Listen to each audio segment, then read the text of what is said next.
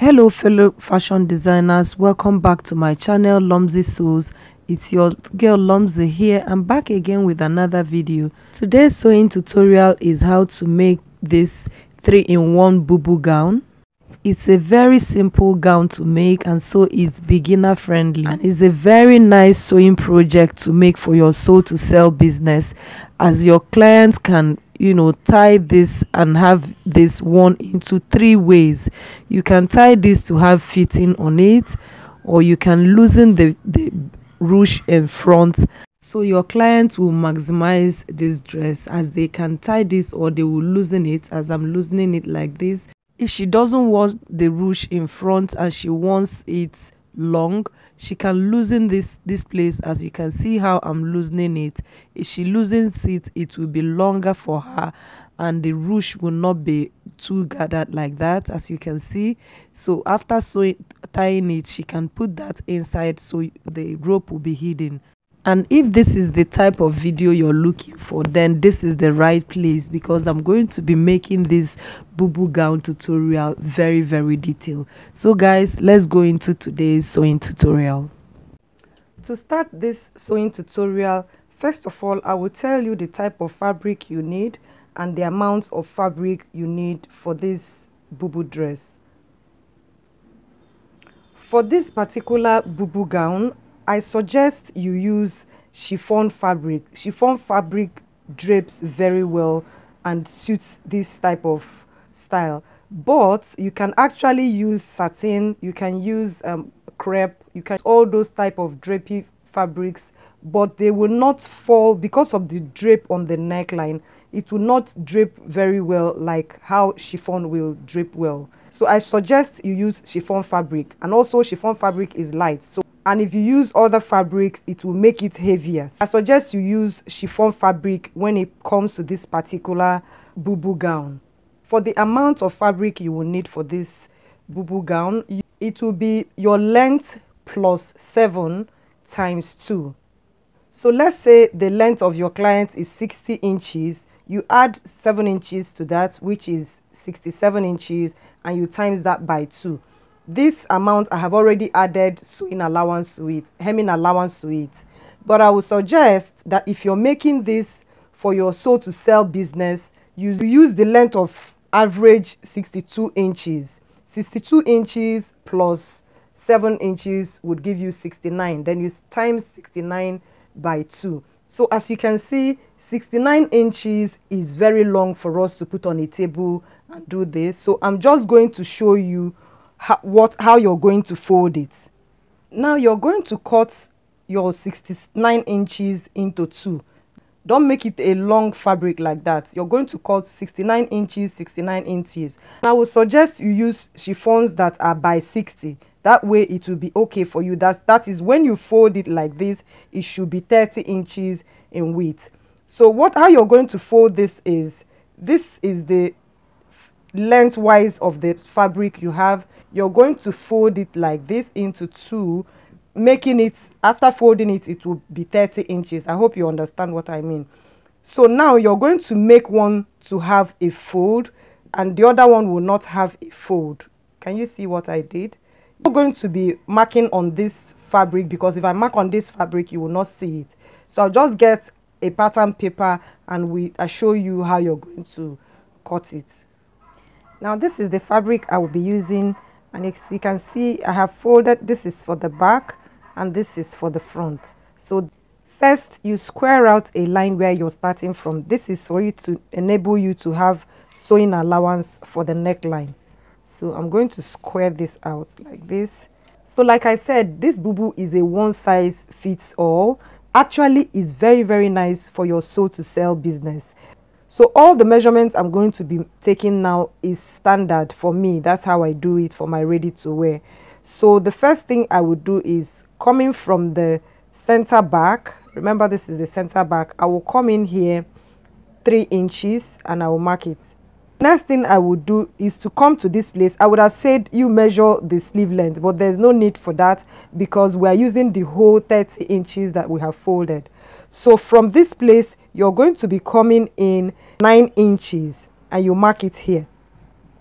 this nine inches is where your sleeve is going to be coming out from this is where the sleeve will come out from so all these places is the shoulder and the neckline the sleeve will come out from this place. And the sleeve will always be at the elbow like that. Make sure you notch this line because it's very important so that you know where you're going to stop when you're sewing it. So i'm going to go ahead and notch this here. Next we're going to do is to come down the neck depth for the back. The neck depth you're using for the back is 1.5 so you mark it here like this 1.5 for the hem you guys know if you have been watching my videos you will know how many inches i take for the hem. I maintain that because for my ready to wear this is what works for me. So at the hem also i'm going to be coming in from the center back. I'm going to come in 14 inches and i'll mark that here. With this 14 inches you will be it, it will be free on anybody to wear it. So i'm going to connect this line from this place. So you just go ahead and just you know use your free hand and do this because this is actually very long. So you can use your I'll go ahead and cut out this.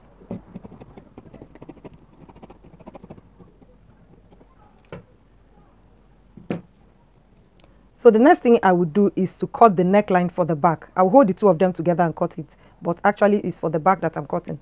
So I'll just go ahead and cut this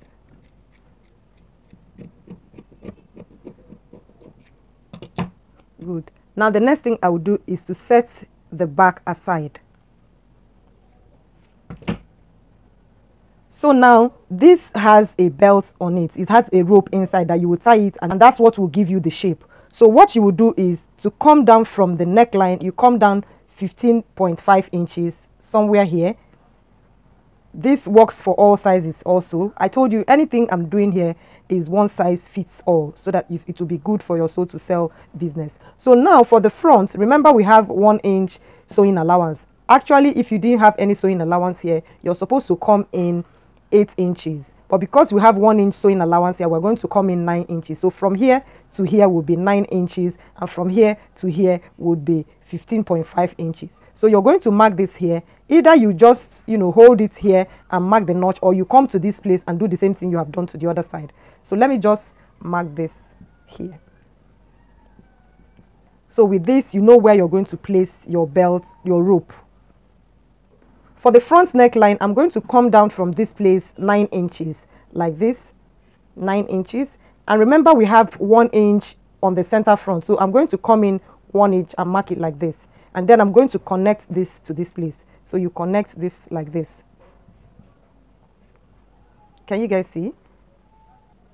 Now pay attention to how we're going to cut the neckline for the front. So you're just going to go ahead and cut this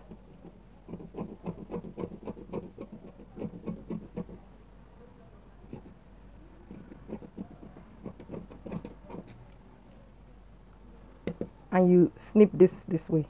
Just half inch in like that. Can you guys see? So for the sewing tutorial I have gone ahead and cut out facing for the back. Make sure you notch where you want the length to stop. So from the hemline you're going to be coming up one inch and you notch it. So I'll go to the machine and first of all I'm going to sew the neckline the back neckline I'll sew it and also I will hem it. So you go ahead and stop where you have notched. So you fold it once and fold again and sew that. For the front you either use bias to tape this or you can overlock this place and fold it like this. Can you see either of the two either you use bias to bind this or you overlock this and sew it like this. So whichever one you want to do you prefer you go ahead and do it that way. And again you come here and you fold this like this. Can you see? This comes this way and this one comes that way. Can you see what I have done? Yes so that's what you go ahead and do so for the front I've gone ahead to use hemming gum to hold this. Now note that this is actually for this sewing tutorial. For my sew to sew business i don't even buy this as an option because i don't want it to unravel when the client is wearing it. I'm just doing this for the sake of this tutorial. So i have gone ahead and done this like this. The next thing you will go to do is you go ahead and sew this close after sewing it close you will now make channels for your rope. You now make channels for the rope. Remember don't forget the first thing you do is to hem this. You must hem this before you close the center front. Very important. You must hem this and you must close and work on the neckline before you go ahead and close the center front as you can see I've gone ahead and sewn it and have made the channels for the rope. So you go ahead and fix the rope where you have made a mark for the rope. You fix the rope for the fitting. So I've also gone ahead and joined the neckline the shoulder neckline. As you can see I added the facing for this and I used the facing to turn the front. Can you guys see how neat this is? Yes and I also as I was joining this I joined this and stopped at the notch that we made. Remember I said this is where the sleeve is coming out from. So next thing you would do is to go to your machine and sew in the hemline for the sleeve. So you go and sew the hemline for the sleeve.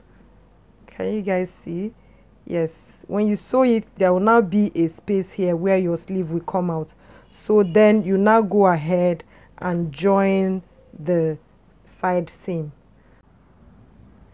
after closing the side seam and you're done with everything you're going to insert a rope inside this place. So you're going to start from here make a rope that is as long as this with some extra a little bit of um, some extra inches in case the person wants to leave it straight without the ruche in the front so you what you will do is use your office pin after making the rope then you use your office pin and pass this this way and then turn it and pass it here. So the rope should come out in front like this and this is where you're going to tie it. So by the time you uh, ruche this like this you will not see any rope here. The rope you're going to see is going to be this way so guys with this we have come to the end of today's video. If you haven't given this video a thumbs up on this is your first time joining remember to subscribe